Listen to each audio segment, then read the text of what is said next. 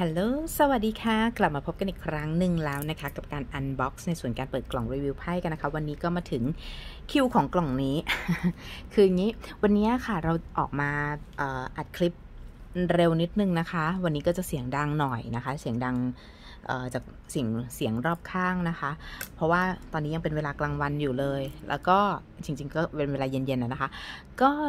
พอดีว่าเพิ่งได้กล่องนี้มานะคะ ออกไปรับพัสดุมาจากที่ไปรษณีย์นะคะ พัสดุกล่องนี้เนี่ยใหญ่มากๆเลยเขาไม่ได้นำส่งให้เราเขาก็จะมีเอกสารมาให้ที่บ้านนะคะว่า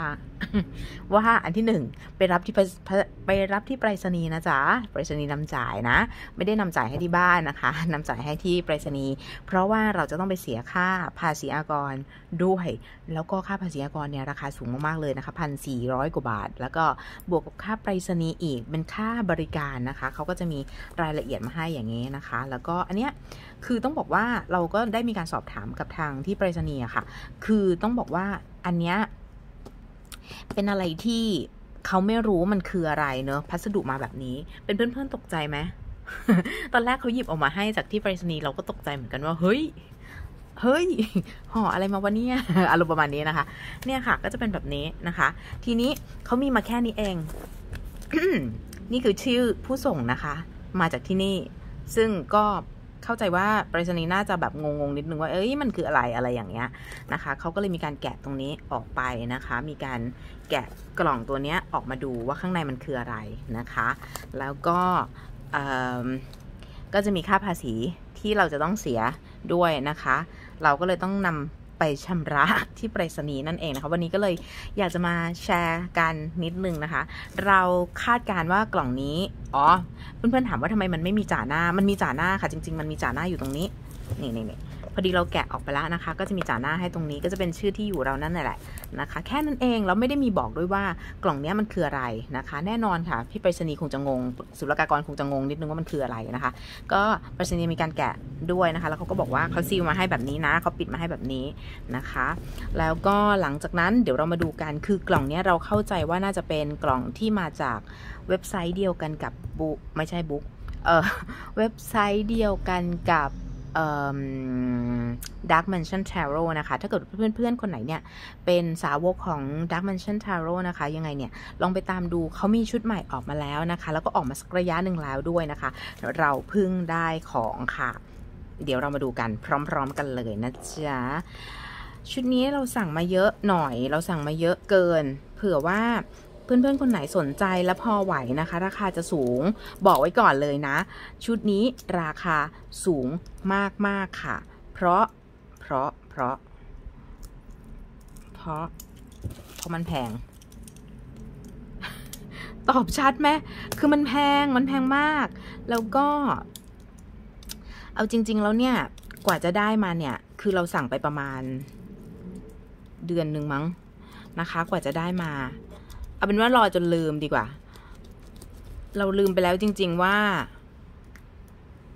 อุ้ยแต่เขาห่อมันหนามากนะ เราลืมไปแล้วว่าเราอะสั่งกับเขาไว้นะคะ เดี๋ยวเรามาดูกัน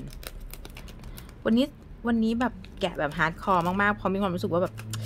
โกรธ แอบโกรธเล็กน้อยว่าแบบหืมแต่จริง ๆ แล้วเพื่อนๆในวงการที่บอกที่เขาเคยสั่งชุดนี้มาเขาก็บอกว่าแพงจริง ๆ โดนภาษีแบบ ค่าไพ่ไม่เท่าไหร่นะจ๊ะ ค่าภาษีนี่แบบอ่วมเลยนะคะ ก็บอกเลยว่าครั้งเดียวและครั้งสุดท้าย ไม่เอาแล้ว ไม่เอาแล้วจริง ๆ คือหุยไม่ไหวจริง ๆ คือเราก็ทำมาหากินเนาะเราก็เราก็ทำงานหาเงินใช้เหมือนกัน เพราะฉะนั้นเราเจอแบบนี้เราก็หนาวค่ะ ไม่ไหวจริง ๆ นะคะ ก็เลยคิดว่าคงไม่สั่งแล้วนะคะ เออ อะคือแค่เอาจริงนะ สนองนิดตัวเองมากๆคืออยากได้ อยากได้ชุดนี้เพราะว่าไพ่เขาสวยจริง ๆ ค่ะ ชุดนี้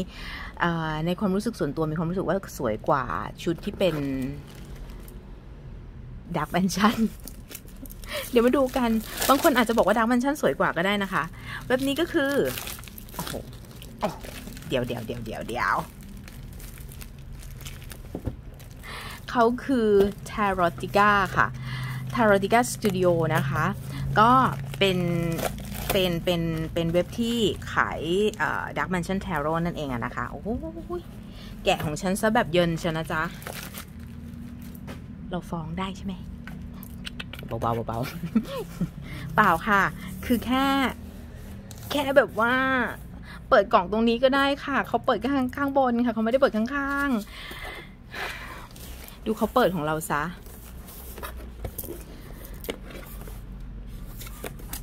เนี่ยค่ะ คือกล่องเราเสียเลยอะค่ะ เนี่ย เห็นปะเราก็เก็บตังค์เราด้วย บอกเป็นค่าเปิดกล่องเอาจริงนะ คือแบบ แอบเคืองอะต้องบอกว่าอย่างนั้น เนี่ยนะคะ อันที่หนึ่ง แต่เขาก็คงมองว่าเราเอาเข้ามาขายไงเขาก็คงแบบอย่างนั้นมั้ง แต่จริง ๆ แล้วเปล่านะ พื่อนเราฝากซื้อ ใจร้ายมากเลย แต่ก็อย่างว่าแหละโทษเขาไม่ได้เนอะเขาก็คงไม่รู้แหละ ว่าเราเอามาทำอะไรใช่ปะวันหลังเราต้องบอกเพื่อนๆว่า ฝากซื้อกันอย่างนี้ ก็ช่วยกันหารค่า จัดส่งด้วยนะ โอ้ยแกะไม่ออก คือแกะให้เราจะเรียบร้อยเลย แกะแล้วด้วย คือแบบ เอาจริงๆแล้วก็คือมันจะเหมือนเหมือนกันละค่ะ ข้างในอะเนาะก็จะเป็นตัวไพ่เหมือนกันนะคะ แต่ประเด็นคือแกะของเราซะอย่างเงี้แล้วเราจะทำไงต่อเนี่ย คือเราทำอะไรต่อไม่ได้แล้วอะคือปกติเขาจะแกะแบบนี้ค่ะ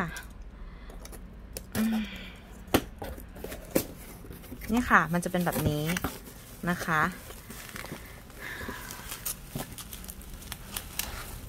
นี่ค่ะ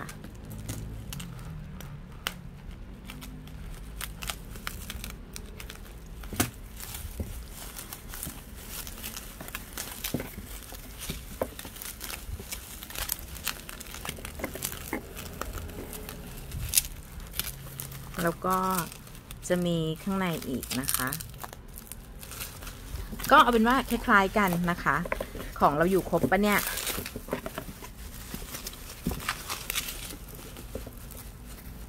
หนึ่งสองสามสี่เฮ้ย ครบปะ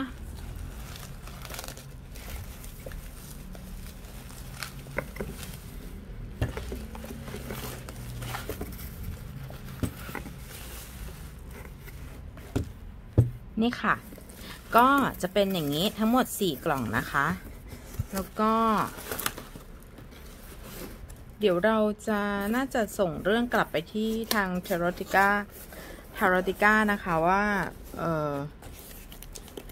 ครั้งหน้าคือถ้าสมมติว่าเราจะต้องสั่งอะคะเราจะขอให้เขาเขียนระบุให้ชัดเจนข้างหน้าว่ามันคืออะไรเนาะ แต่คิดว่าต่อให้เขียนก็คงอาจจะโดนเรื่องภาษีด้วยเหมือนกันนะคะเนี่ยค่ะ ก็ทั้งหมดเป็นประมาณนี้ คือเขาไม่เข้าใจว่าไพ่ทั้งหมดอะค่ะ มันมีความโอ้ทำไมต้องเสียงดังโอ้จริงๆวันนี้เรารู้สึกว่าเราเสียงดังเกินไปนะ คือไพ่ทั้งหมดอะค่ะ คือมันมีความต่างกันในเนื้อในเนื้อไพ่ค่ะ มันก็เลยต้องสั่งมาหลายชุด ฝากไปบอกด้วยถ้าเผื่อเขาได้ยิน ถ้าเผื่อเขาได้ยินนะคะก็คือมันมีหลายชุดค่ะ คือแต่ละอันเนี่ยค่ะ มันจะมีความวาวมีความมันเป็นกระดาษเงากระดาษด้านอะไรอย่างเงี้ยค่ะ มันจะไม่เหมือนกันนะคะ มันก็เลยข้างหน้าดูแตกต่าง เอ้ยดูเหมือนกันเนาะแต่ข้างในอะค่ะ มันจะมีในส่วนของตัวไพ่ที่เป็นแบบกลอสซี่ เป็นแบบมันกับเป็นแบบด้านนะคะ อะ มาสุ่มเปิดสักหนึ่งกล่องกันดีกว่าค่ะไหนดูซิกล่องไหน ฉันหวังว่าเขาคงไม่ส่งให้ฉันผิดนะ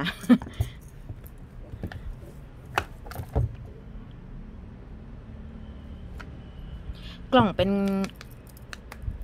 แอบรู้สึกว่าเป็นเหมือนกล่องพลาสติกเลยค่ะ นะคะ เดี๋ยวเรามาดูกล่องนี้กันดีกว่า ผู้หญิงคนไหนสวยสุด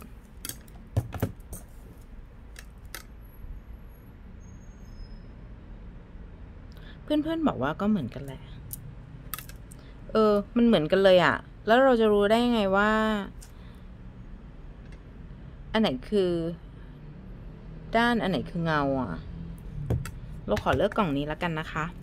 ปะเดี๋ยวเรามาเปิดกล่องกันดูดีกว่าค่ะ ว่าจะสวยงามมากกว่า Dark Mansion Tarot ไหมนะคะ หาที่เก็บไม่เจอ เดี๋ยวนะ เดี๋ยวนะ โอเค มาจ้า เดี๋ยวเรามาดูกันนะคะ กล่องนี้ ชื่อว่า The Elemental Wisdom Tarot นะคะ The Elemental Wisdom Tarot เปิดกล่องกันเลย ว้าวว้าวว้าวเออเราไม่ได้สั่งมาห้าหรอทำไมเราคุ้นๆ น่าจะห้าเอ้ย น่าจะสี่แหละ ค่ะ โอเค มาดูกัน โอ้โห ว้าวว้าวว้าวกล่องเป็นกระดาษค่ะ เป็นกล่องกระดาษนะคะ แล้วก็แต่เป็นกระดาษแบบ อันนี้มันจะเป็นแบบเงาอะค่ะ เป็นแบบมันๆเนาะอ่าหรืออันนี้เป็นแบบด้าน อืม ไม่เป็นไรไม่เป็นไรเปิดอันนี้ไปละนะคะ ก็เดี๋ยวเรามาดูกันดีกว่าว่าจะสวยงามขนาดไหนนะคะ นี่ กล่องเขาทำอย่างดีเลยนะคะ แล้วก็เป็นเดินเส้นเดเดินลายตรงนี้เป็นสีทองนะ เห็นไหมเห็นชัดเนาะขอซูมเข้ามาอีกนิดนึงนะคะ โอเค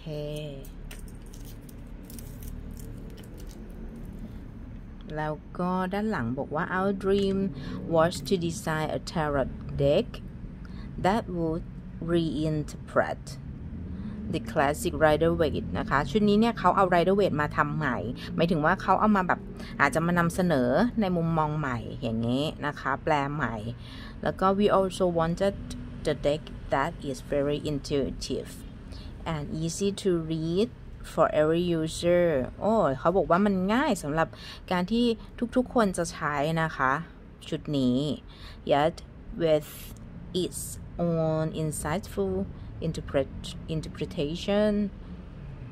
of traditional iconography iconography iconography behind the cards we have studied in details each suit follow closely its own element โหเขาโฆษณาไว้สวยงามมาก ๆ เลยนะคะ ว่าไพ่ของเขานี่แบบมันลึกซึ้งอะ่ะ คือแบบเขามีการประณีตในการที่เขาจะคิดคิดค้นขึ้นมาว่ามันมีที่มาที่ไปอย่างดีมาก ๆ เลยนะคะ แล้วก็อันนี้จะเป็น copyright ของทางในส่วนของ t a r a t i c a Studio นั่นเองนะคะ ชุดนี้จะเป็นซิลแมทอ้อว้าว นั่นไง อ่านไม่ดีก็จะเป็นประมาณนี้นะคะ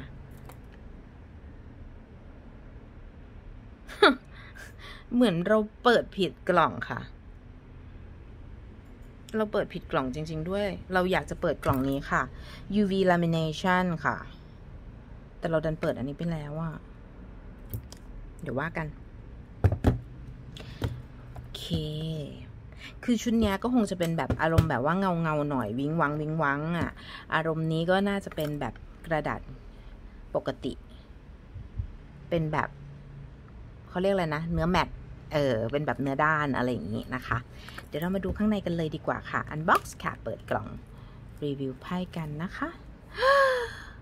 โอ้แม่เจ้า ให้ดู สวยงาม มาก กระดาษชุดนี้ค่ะ Silk Matte ให้เพื่อนๆนึกภาพของ Dark Mansion Tarot ค่ะ ถ้าเกิดว่าใครมีชุดนั้นนะ จะเหมือนกันกับ Dark Mansion Tarot เลยนี่ค่ะ จะไม่ได้มีคู่มือมาให้นะคะ ชุดนี้จะไม่มีคู่แบบรุ่นนี้เวอร์ชันนี้จะไม่ได้มีคู่มือมาให้ ถ้าเกิดเป็นเวอร์ชันที่มีคู่มือจะราคาสูงหน่อยนะคะ ไม่หน่อยเยอะเลย เลยแบบไม่กล้าซื้อจริง ๆนะคะ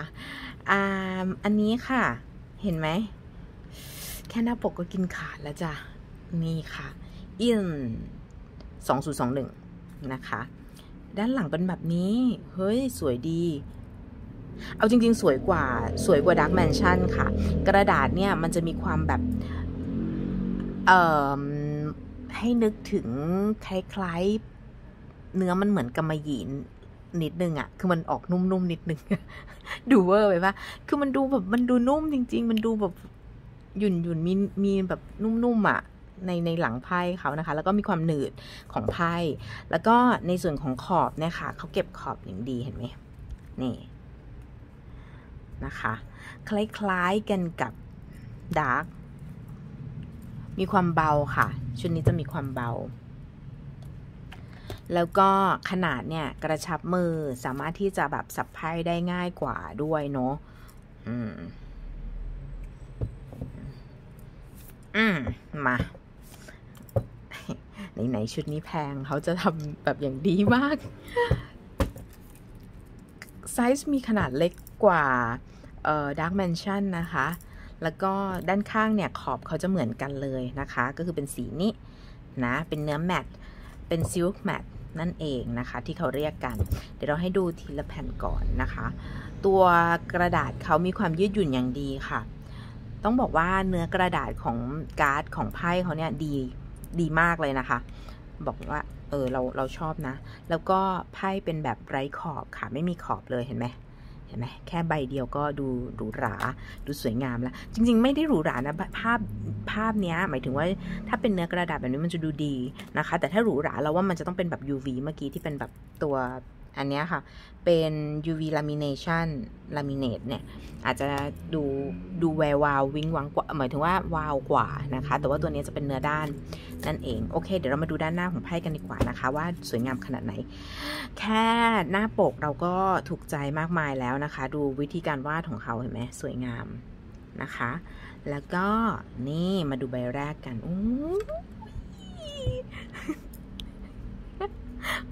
เอาจริง ๆ นะ ตื่นเต้นมากออกนอกหน้ามาก ๆ เลยค่ะ 2021 2022 พอปีหน้าใช่ป่ะเราเวลาเราเก็บไพ่เราก็จะเก็บแบบนี้นะพอปีถัดไปเราก็จะเก็บไพ่เราก็จะเก็บแบบนี้ เราก็จะใช้ได้สองปี พอปีถัดไปเราก็จะเปลี่ยนไพ่เป็นชุดอื่นแทน อันนี้ล้อเล่นนะ อันนี้ล้อเล่น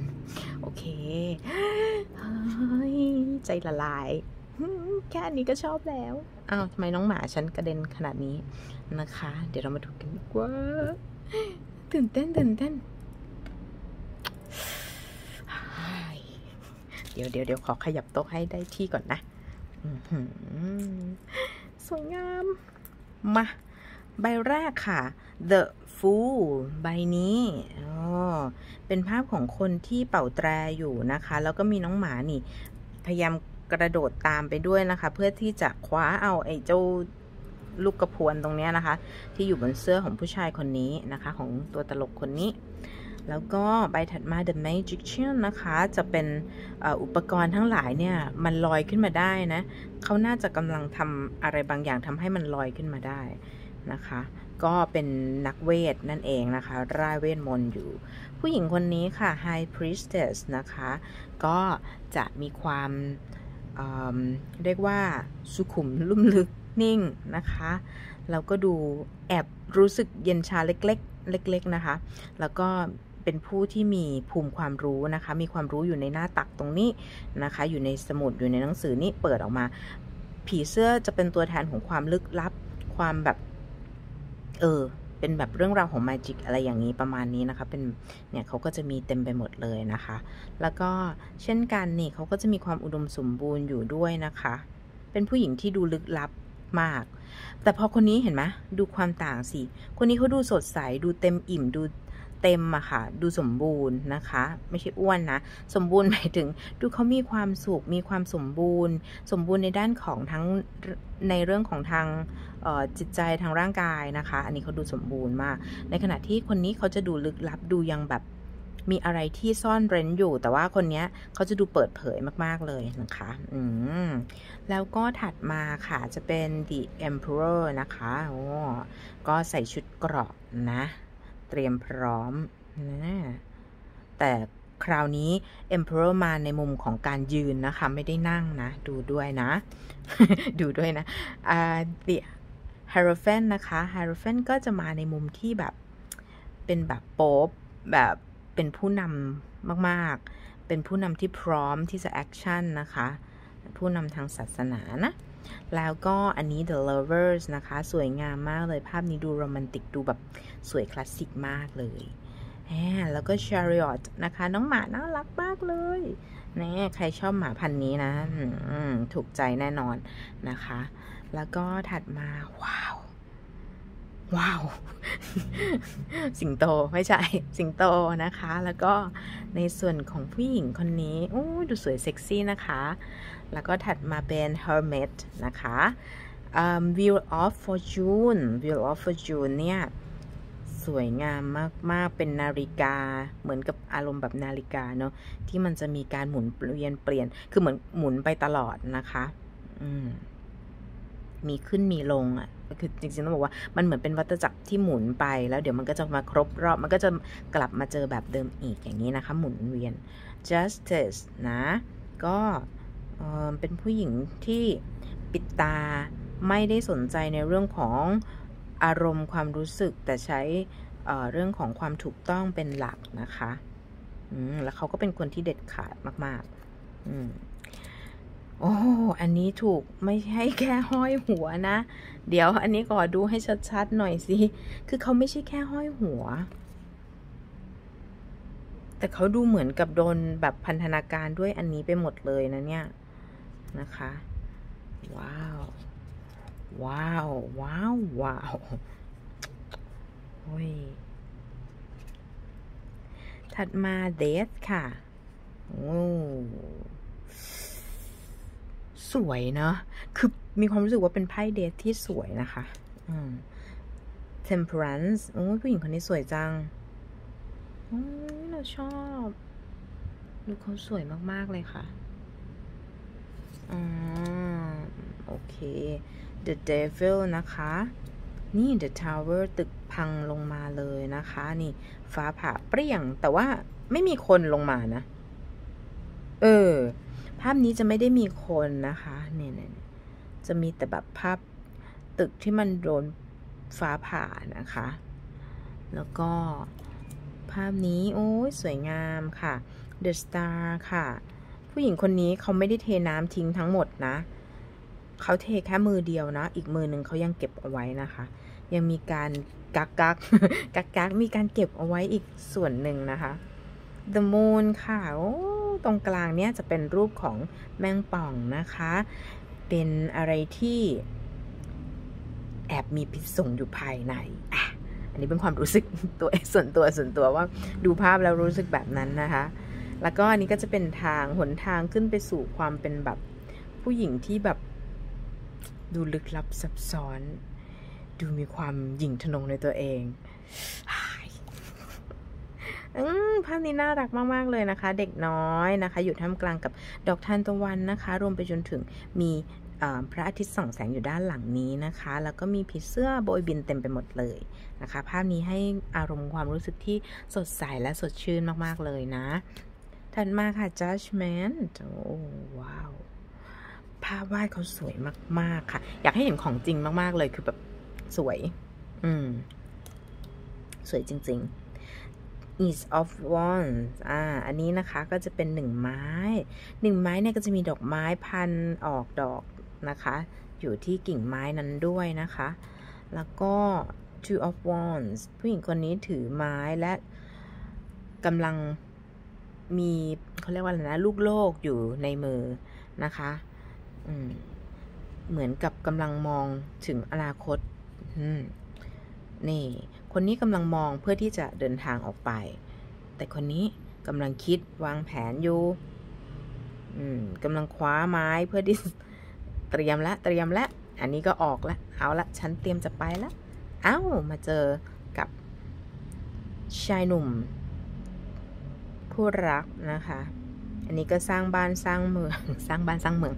สร้างบ้านสร้างเรือนนะคะ อยู่ด้วยกันนะคะ มีนก บินนกคู่นะ สันติภาพอย่างเงี้ย แล้วก็ two of one เอ่อ five of wands นะคะ ก็ห้าไม้นะคะ อันนี้หกไม้ ดูเป็นแบบผู้หญิงที่มีชัยชนะในการศึกกลับมานะคะ แล้วก็อันนี้ก็จะเป็นเจ็ดไม้นะคะกำลังแบบเหมือนกับปักหลักยืนกรานยืนยัน ไม่ยอมแพ้ไม่ยอมอ่อนคอให้กับคนอื่นนะ อันนี้นะคะ ดูภาพผู้หญิงคนนี้ดูมุ่งมั่นมาก ๆ เลยนะคะ แล้วก็นี้แปดไม้ยังคง concept เดิมใช่ไหมที่แบบมีรูปของไม้แบบกำลัง hot มากพุ่งแบบมี energy แบบพลังสูงมาก ๆ บุกตะลุยอย่างเดียวเลยนะคะ อันนี้นะคะ แล้วก็ก้าวไม้นะคะ เธอก็ยังคงอยู่ท่ามกลางการต่อสู้ ยังคงยืนกรานยังคงแบบ มุ่งมั่นที่จะต้องทำให้มันได้ทำให้มันสำเร็จนะคะ อันนี้ก็จะเป็นอะไรที่ให้อารมณ์ของความที่รู้สึกว่า โอ้หนักจังเลย เหนื่อยจังเลยนะคะ แล้วก็ page of wands นะคะโอ้แอบหล่อนั่นเนี่ยหนุ่มน้อยคนนี้นะคะ knight of wands queen of wands โอ้ยสวยนะเนี่ยอุ้ยคุณว่าภาพสวยนะ นี่นี่นี่มาถึง ชุดที่เป็นไพ่ถ้วยกันบ้างนะคะ ก็จะใช้ cups เออ ตัวสัญลักษณ์พวกนี้ค่ะ เขาใช้เหมือนกันกับชุดที่เป็นชุดที่เป็น rider weight นะคะ ก็คือเป็น ones เป็น cups นะคะ แล้วก็เป็น swords และเป็นอ๋ออันหลังเป็นอะไรเนี่ยเป็น coin coin coin coin นะคะ แล้วก็ Ace of Cups นะ มาดูไพ่ถ้วยกันบ้างดีกว่าว่าจะมีความสวยงามขนาดไหนนะคะ โอ้ ภาพนี้ดูแบบว่าเฉลิมฉลองมาก ๆ เลยนะคะ เป็นงานเลี้ยงปาร์ตี้ของแม่มด เอ้ย ไม่ใช่ แม่มด นางเงือก อุ้ยทำไมมองเขาเป็นแม่มดไปได้ เขาเป็นนางเงือกนะคะ สวยงามสักขนาดนี้ โอ้ ดูทำไมคนนี้เศร้าจังเลย เนี่ย โอ้ ฉันกำลังเสียดายเนี่ย ดูซิ ถ้วยหกหมดเลย ไม่ใช่หมดเลย ยังเหลืออีกตั้งสองถ้วยแต่เธอไม่ได้มองเลยนะคะ เธอก็มองสามถ้วยที่เธอเสียดาย ดูซิรอบข้างก็มีบรรยากาศที่ดี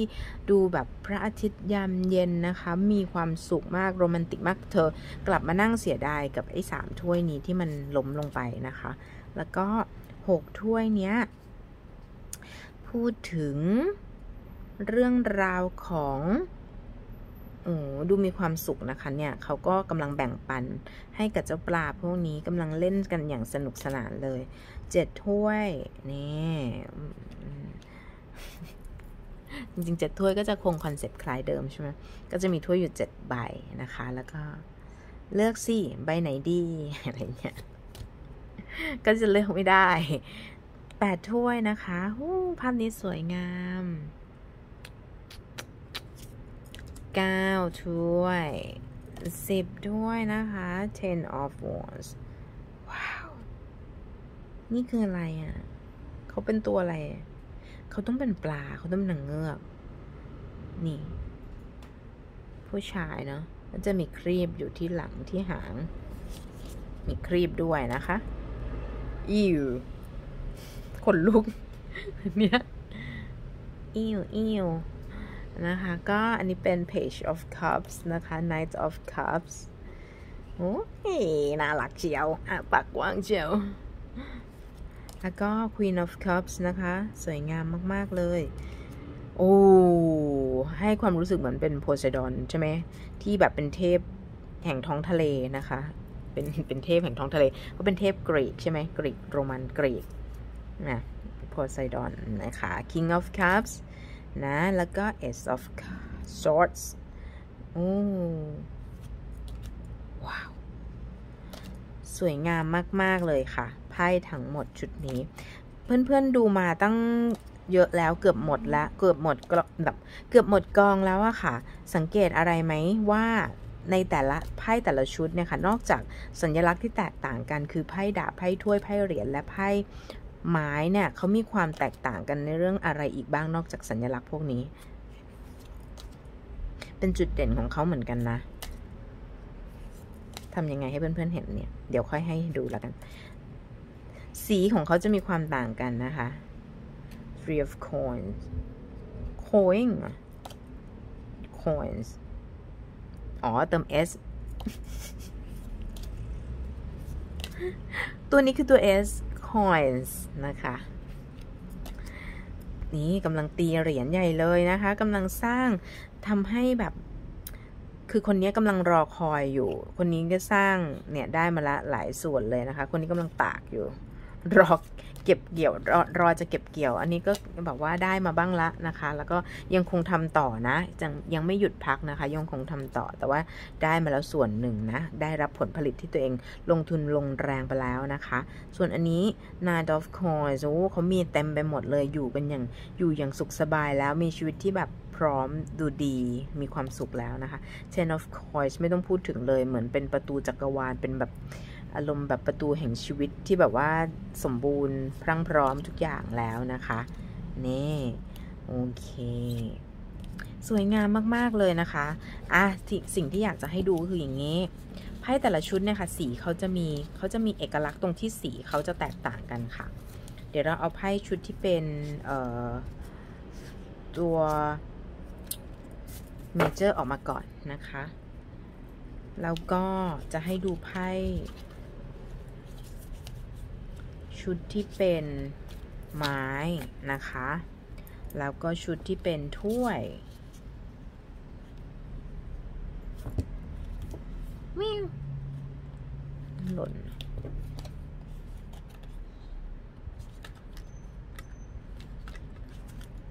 ถ้วยนะคะ แล้วก็ชุดที่เป็นดาบค่ะ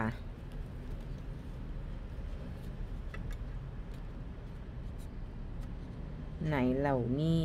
อืม สักครู่นะคะ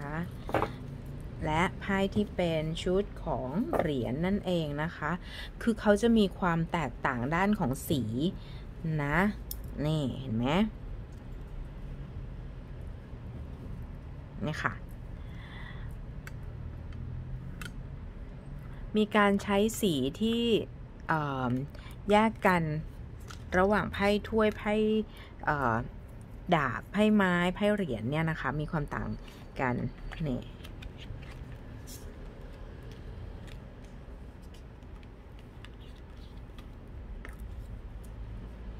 ไหม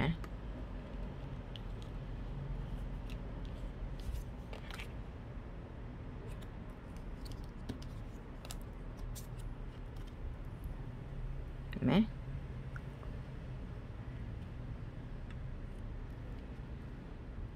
นะ เขาใช้สีใช้สัญลักษณ์ต่างๆนะคะ อันนี้ก็คือจุดเด่นของไพ่ชุดนี้นะคะ แล้วก็นอกเหนือจากนี้ก็คือภาพวาดที่สวยงามของเขานะคะ คือต้องบอกว่าลายเส้นการวาดอะไรอย่างเงี้ยดูละเอียดมากๆ ดูแบบดูเรียวมากๆ แล้วก็ดูละเอียดดูอ่อนช้อย ดูภาพเขาดูแบบสวยคลาสสิก สวยดู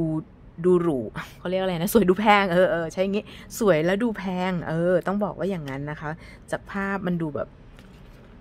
เออเรามีความรู้สึกว่าภาพของเขาสวยดูแพงนะคะ แล้วก็ชุดนี้จะค่อนข้างต่างไปเลยจากมุมของออ Dark Mansion Tarot นะคะ ก็ต้องบอกว่า Dark Mansion เขาก็จะออกไปในมุมของเด็กหน่อย มีความแบบสนุกสนานหน่อย อันนี้ก็แอบแอบมีความเป็นผู้ใหญ่ขึ้นมาอีกขั้นหนึ่งแล้วก็ดูมีความเป็นเรียลและใกล้เคียงกับทางไรเดอร์เวทขึ้นมา เยอะเลยนะคะ แล้วก็มีความสวยงามของลายเส้นต่างๆ ที่เอามานำมาใช้วาดในในภาพเนี่ยค่ะ แล้วก็มีการเล่นสีที่ต้องบอกว่าสีของเขาเป็นเอกลักษณ์นะ แล้วก็มีความสดใสด้วยอย่างไพ่ไม้เองอย่างเงี้ยค่ะ มันก็จะมีความให้ความรู้สึกของการที่เป็น energy ที่แบบออกไปในแนวของการ active การมุ่งตะลุย การบุกตะลุย การเป็นแบบเชิงรุกมากกว่าเนาะกับมากกว่าไพ่น้ำไพ่ ธาตุน้ำที่เป็นแบบไพ่ดูอ่อนช้อย ดูแบบว่าเเป็นอารมณ์ของเชิงเขาเรียกอะไรนะ เชิงของเป็น passive เป็นแบบเป็นเชิงรับมากกว่า เป็นเชิงของผู้หญิงมากกว่าให้พลังของผู้หญิงมากกว่าอย่างเงี้เนาะเห็นไหมแต่ละอันก็จะมีเอกลักษณ์ของเขาออกไปนะคะ โอเค แล้วก็เดี๋ยวเรามาดูในมุมของการที่ เราจะสับไพ่กันดีกว่า ยังหวั่นๆอยู่ว่าเวลาที่ไพ่มันเหนืดอย่างเงี้ยค่ะ อาจจะทำให้การสับไพ่อาจจะติดปัญหาเล็กน้อยหรือเปล่าไม่แน่ใจนะคะ แต่ที่แน่ด้านหลังก็สวยงามนะคะเนี่ยโอเคเอ่อในการสับไพ่ทำได้โอเคนะ แต่ว่าแอบเหนืดเหนืดเล็กน้อยนะคะ กระโดดกันกระจายไปหมดเลยนะคะ โอเคนะในมุมของการสับไพ่แต่ว่าก็ไม่ได้ถือกับว่าดีอะไรแบบมากมายเหมือนกับของโรสคาราเบลอย่างนั้นนะคะ ต้องบอกว่าอย่างนั้น เออเฮ้เดี๋ยวนะ ขอตั้งสมาธิดีๆก่อนนะจ๊ะ